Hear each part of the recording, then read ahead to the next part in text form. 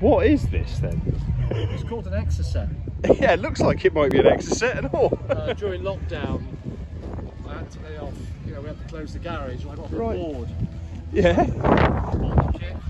Recycled an MX6 that failed the MOT. MX5 that failed the MOT. Oh right, okay, yeah.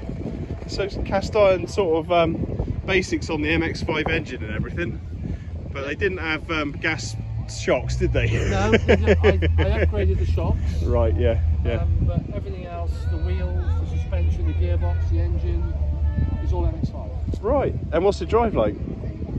Phenomenal. Yeah. 0 to 60 in 5.3 seconds. Crikey. Um, it's only 500 kilos. Oh, super. So, and then the engine, if you look at yeah. the wiring loom, I kept original, apart from the engine wiring loom anyway, and the rest I manufactured. All right, nice. like the green. Yeah, Yeah. powder coated the chassis. Sweet.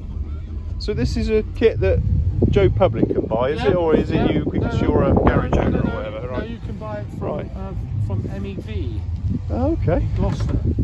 In Gloucester. Yeah. Oh, brilliant! Hasn't come. Uh, that's nice to know. Local. Yeah. We're only up in Bath, aren't we? yeah. It just shows what weight saving makes, what Uh, difference it makes, doesn't it? Oh crumbs, yeah. Powder weight and all that lot.